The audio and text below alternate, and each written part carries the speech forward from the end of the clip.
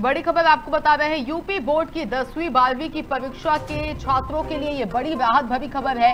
Late fees के साथ 20 सितंबर तक आवेदन सभी छात्र अब कर सकते हैं। और परीक्षा में बैठने वाले छात्रों को योगी सरकार ने ये बड़ी राहत दी है। ये बड़ा अपडेट इस वक्त का आपको बता रहे हैं, जहाँ संस्थागत व्यक्तिगत छात्रों के आवेदन की तिथियों में संशोधन किया गया है।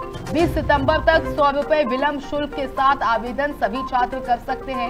ये बड़ी खबर सामने आ रही है। साथ ही बता दें, यूपी बोर्ड की दसवीं और बारहवीं की परीक्षा के छात्रों के लिए ये बड़ी राहत भरी खबर सामने आई है। बता दें कि 20 सितंबर तक लेट फ़ीस के साथ सभी छात्र अपना आवेदन कर सकते हैं। कहीं ना कहीं ये बहुत बड़ी राहत योगी आदित्यनाथ ने सभी छात्रों को दी है ये बड़ी खबर आपको बता रहे हैं। संस्थागत व्यक्तिगत छात्रों के आवेदन की तिथियों में संशोधन किया गया है और उस तारीख को बढ़ाकर 20 सितंबर कर दिया गया है। साथ ही आपको बता दें, सौ रुपए की लेट फ़ीस के साथ सभी छात्र अपना आवेदन कर सकते हैं। एक तरह से यूपी बोर्ड के लिए दसवीं और बारहवीं के परीक्षा के छात्रों के लिए ये बड़ी राहत की खबर सामने आ रही है। लेट फ़ीस के साथ 20 सितंबर तक अब छात्रों के द्वारा आवेदन किया जा सकता है। परीक्षा में बैठने वाले छात्रों को योगी सरकार ने ये बड़ी राहत दी है और कहीं ना कहीं संस्थागत, व्यक्तिगत छात्रों के आवेदन की तिथियों में जो संशोधन हुआ है, ये बहुत अच्छा माना जा रहा है। बीस सितंबर तक सौ रुपए विलम्ब शुल्क के साथ अब सभी छात्र अपना आवेदन कर सकते हैं।